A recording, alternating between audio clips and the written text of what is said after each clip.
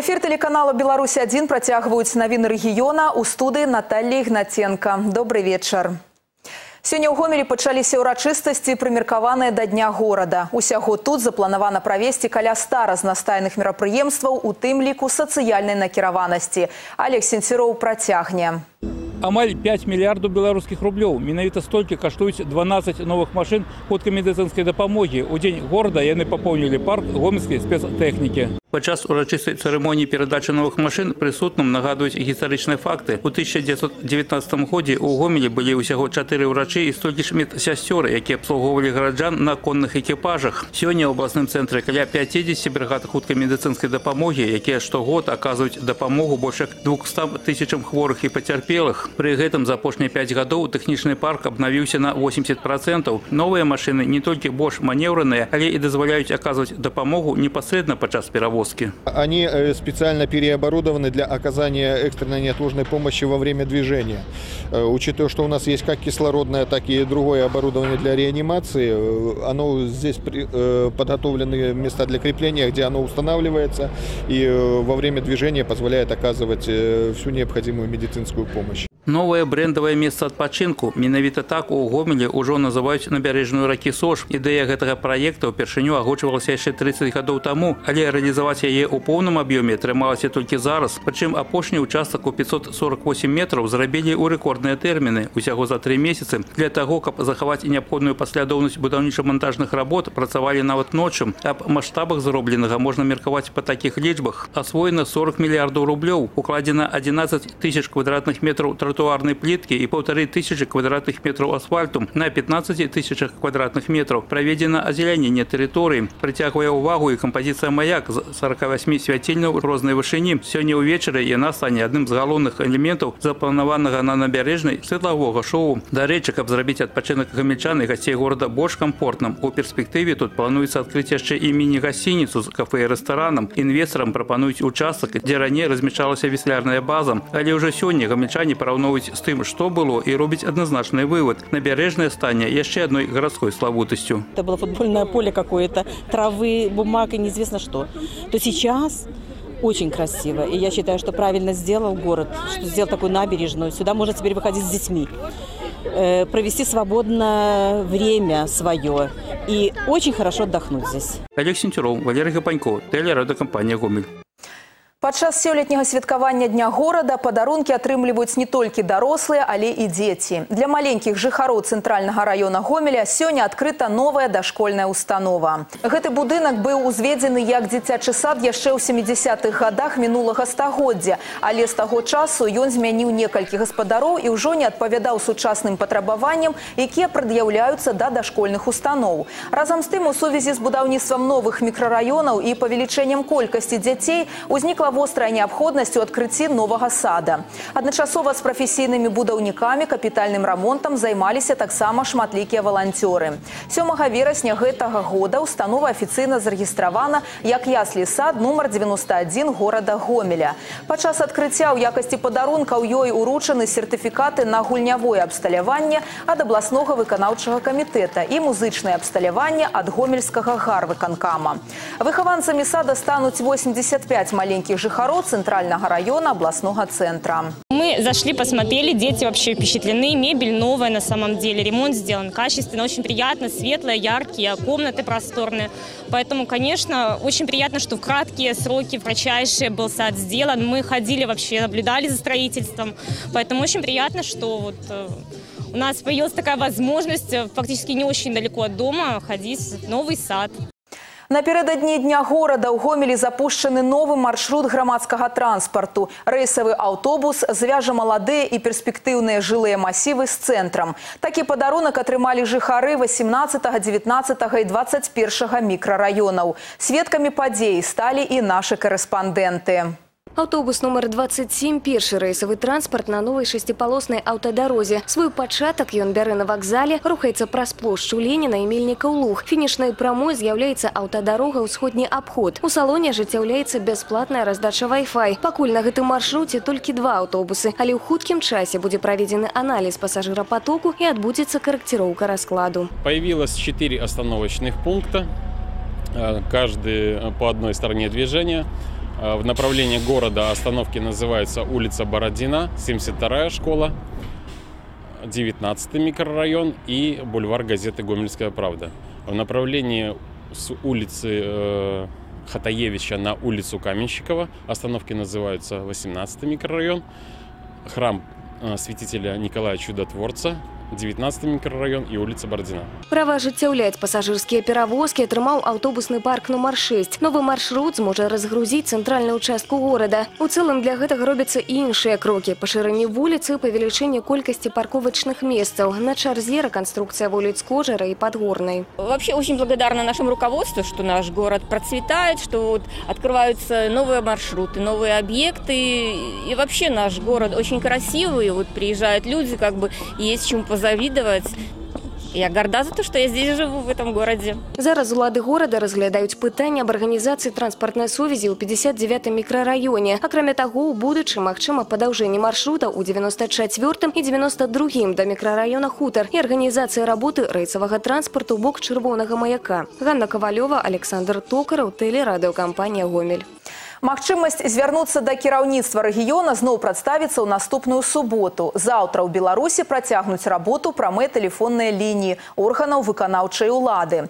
У нашым рэгіёне на пытанні грамадзян будзе адказваць намеснік старшыні гомельскага аблвыканкама Олег Михайлович Пачынак. Нумар тэлефона 75 12 37. Званкі прымаюцца з 9 до 12 гадзін. У гэты ж час у гомельскім гарвыканкаме прамую лінію правядзе намеснік старшыні Сергей Яўгенович Андреяў. Звярнуцца можна па нумары тэлефона 75 63 33.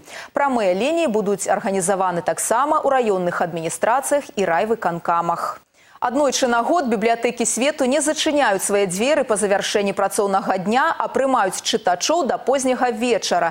Напярэдадні больш як 700 гамельчан адзначылі бібліяноч у гарадской бібліятэцы імя Герцына. Да іх далучылася і наш карэспандэнт Кацярына Сапельнікава. У гэтую ноч у бібліятэцы не бралі кнігі. Наведвальнікаў чакала незвычайнае шоу бібліафьюжн. Літаратурны квест, фотасушка, гульнявы партал, музычна-танцавальны джэм далёка не ўвесь спіс падрыхтаваных мерапрыемстваў. Упершыню ў гомелі адбылася выстава мабілаграфіі. Фотаздымкамі з тэлефона падзялілася фотокарэспандэнт Ганна Пашчанка. Здесь представлено 14 рамок, и в каждой рамке э, по 4 фотографии, которые объединены какой-то темой.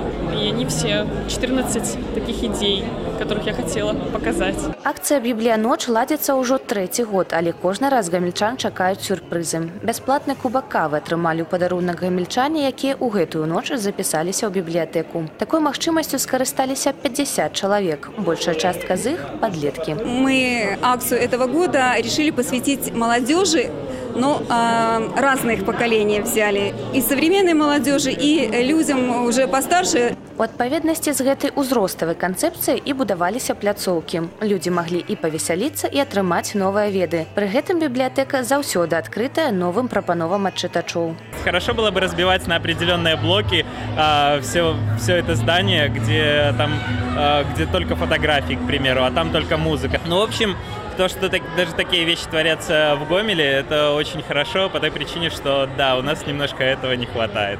Кацярына Сапельнікова, Александр Токараў, тэлерадыёкампанія Гомель. У гомелі ў рамках рэспубліканскай акцыі мы разам прайшоў гала-канцэрт зорак беларускай эстрады. Галоўнай асаблівасцю праграмы стаў прамы ўдзел гледачоў, якія мелі магчымасць выконваць песні разам з любімымі артыстамі. Падрабязнасці падзеі ў наступным сюжэце. Маштаб гала-канцэрта адчуваўся задоўга да яго пачатку. Абсталяванне сцэны перавозіць цэлы караван з 10 аўтамабільных фур, а монтаж займае некалькі дзён. Атмасфера напружанай суладнай працы панавала і падчас рэпетыцыі. Конечно, это очень сложно технические концерты по оснащению э, сцен, комплексов, количество приехавших артистов, людей задействованных в организации этого мероприятия. А, но я вам хочу сказать, что самое теплое это то, что люди с большим желанием э, собираются, это делают, потому что это наше родное белорусское, это главное.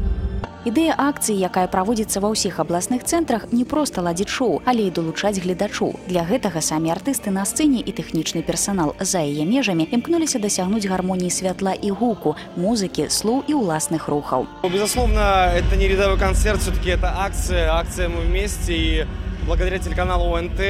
Сегодняшний концерт объединяет не только творческих людей, творческие натуры, но и, например, сегодня жителей Гомеля. Ідэя, безумоўна, рэалізавана на славу пустых месцаў на трыбунах не было. Перад пачаткам праграмы быў паказаны прэзентацыйны ролик аб нашым рэгіёне. Гледачоў і ўдзельнікоў вітаў кіраўнік вобласці Уладзімир Дворнік. Ён казаў пра каштоўнасці, актуальныя назаўжды стабільнасць і мір, упэўненасць у заўтрашнім дні. Сам жа канцэрт больш нагадваў грандыёзнае караоке. Амаль тры тысячы гамельчан выконвалі вядомыя песні разам з артыстамі. Для тых, хто не ведаў слоў, радкі песень адлюстроўваліся на экранах, а выбухі эмоцый пасля кожнага шлягеру, як быццам яшчэ раз раз нагадвалі пра галоўнае пра тое што усе мы сапраўды разам руслан праляскоўскі алеся рудзянкова александр александронец александр токараў тэлерадыёкампанія гомель Акцыю под назвай наш год наш выбор правялі гомельскія актывісты беларускага рэспубліканскага саюза моладзі на вуліцах горада хлопцы і дзяўчаты падыходзілі да людзей і з найлепшымі пажаданнямі уручалі ім яблыкі як растлумачылі самі ўдзельнікі раздача яблыкаў гэта свайго роду сімвал дасягнення ў беларускай моладзі а таксама спосаб прыцягнуць увагу грамадзян да галоўнай падзеі ў грамадска-палітычным жыцці краіны дарэчы больш за 300 кілаграмаў яблык было сабрана ў гаспадарках рамках гомельскага района у якіх працавалі маладзёжныя атрады